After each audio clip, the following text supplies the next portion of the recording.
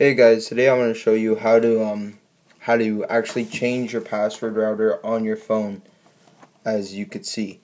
Um this is going to change your router password. All you're going to have to do is type in 1 9 2 dot 168 168 dot 1 dot 1 and it's gonna uh, bring you to this page automatically. You cannot do this on Google. Do this up here.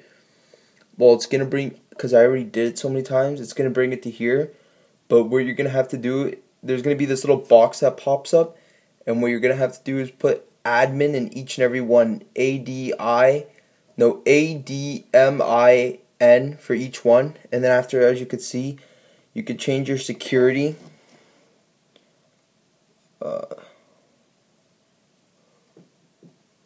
You could change your security password as you can see for mine.